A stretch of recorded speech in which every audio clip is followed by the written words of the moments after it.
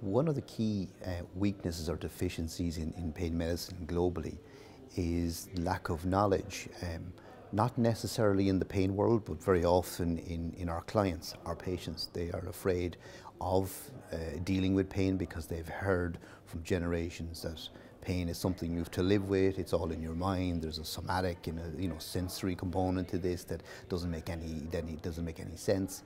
Um, and of course, that's not quite true. We know we have lots of very solid evidence from animal studies, clinical evidence, clinical data now across a whole range of conditions that that's not the case. So there's that lack of knowledge. And then that transpires across into our medical edu educational schools.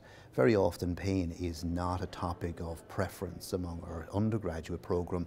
And by the time they become interested in pain medicine or pain interventional, their, their careers may already been influenced in other areas. So we tend to be very late coming to harness these good physicians that might find pain medicine a great career pathway. So we have to work on getting that information out in the early stage of the undergraduate programs and bringing pain out into the world much more. I think WIP has a great role in that. We're very focused on the postgraduate elements, but I think we need to now uh, integrate our undergraduates and see more young physicians, young doctors becoming involved with us and understanding there's a fantastic career opportunity here and helping their patients going forward. So that's the basic knowledge gap that I think we can work on. From a, a postgraduate or a professional perspective, uh, keeping our programs of education going at the highest level. We're delighted that we have FIPP, the FIPP exam and the CIPS exam. We've over 1,200 individuals who are now certified in this area and that's growing annually. We'll be very close in the next three to four years to have over 2,000 people globally. And that's a phenomenal statement of any assessment, professional examination with psychometric assessment. assessment. It's the only exam globally that can really stand up to the test of time. I think it's a credit to all the people who've gone way before me that have built this up from FIPP number one, FIPP number two, now to FIPP number 1200 plus. This is fantastic and we can't leave that go. And the, the, you know, the, future really does rely on the history that we've developed over the years, and I think this is something we must acknowledge and build on. And now we have individuals globally. We have 25 different centres right across the world who are intrigued, excited about delivering uh, good care to our uh, patients globally, and that's, that's fantastic. Um, our congresses are growing year by year. The strength of it is becoming great, greater. There's now more te med tech industry involved in the pain world than ever before, and WIP needs to give them a platform as well. So working with these partners, I think, is a very good way of moving forward.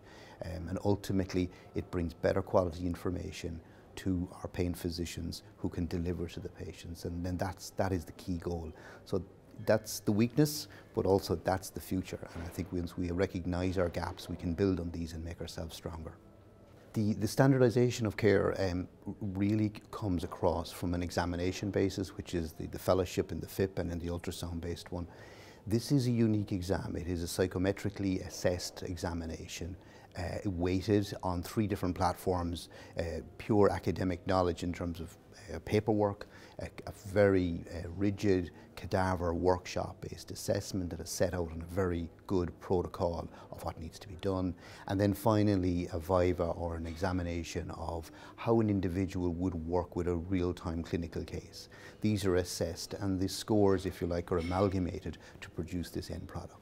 Now that's a standardization that is equivalent to any uh, top level professional grading system that can be done. And this is uh, something that individuals take on as part of their day-to-day -day duties, as part of their career. This is not something they sit in college for a year and specifically do. So I think it gives them great credit that they add this amount of extra work on their day-to-day -day work to, to bring up the level. It's a sheer mark of the commitment that is needed for this exam, but also that the the profile of the individuals are completely committed to bringing the standard up. And that's why these exams are seen as so important for many people across the, across the globe. You must remember in some countries, uh, this is the exam before they can become a consultant or before they can step up further in their career. And that's really exciting and we, we should be building on that.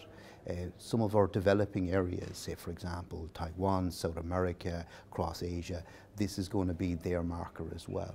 So again, that just underlines how important and how strong this assessment is as a true assessment of clarity, of uh, clinical thinking, and just gives patients globally a standard of care that is second to none. Um, we are, I'm going to say three languages. We may have to check this, I'm sorry. I know it's English, Spanish, and Port Portuguese is very close because of the Brazilian link to it itself. But the ambition would be to bring it out into different languages as necessary.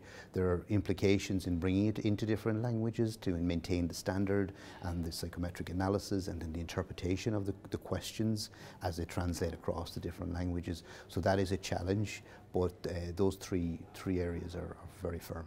In, in my point, I'm almost 10 years in the administration side of WIP, having started with founding the, uh, the, the, the section right from grassroots through into hosting the World Congress in Dublin 27, 2018 and, and enjoying that. And then ultimately working through the, the, the, structure behind the scenes of WIP um, and understanding the intricate nature, the pros, the cons, where we want to be in the next number of years. And build, based on that, that's where my vision is for WIP, that we, we must stretch further. We must now bring more people in, make this much more accessible right across the globe, and bring in a whole governance strategy, bring more people into the committee structure, and ensure that what has been achieved by all our predecessors, going back into Raj, going back through Dr. Kapoor's and going back into Sir and etc., that this work is not lost, that it can only get stronger going forward. And I'm very pleased to see that there are so many people who started way back in the day and they're still members here they're still coming to give speeches and talks and workshops and they're still as committed now as they've ever been and that really underpins the future which is extremely strong and I believe that WIP can only grow, and I think it's only a matter of time before we hit that number of 2,000 uh, FIPPs and CIPS globally, um, and that's going to be very soon.